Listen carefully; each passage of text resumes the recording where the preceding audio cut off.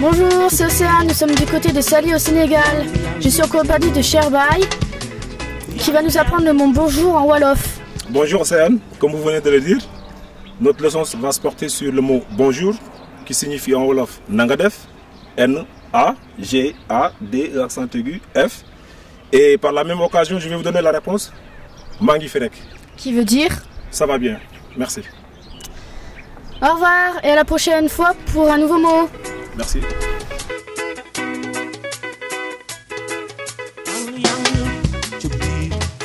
Ça tourne. Bonjour, c'est Océane.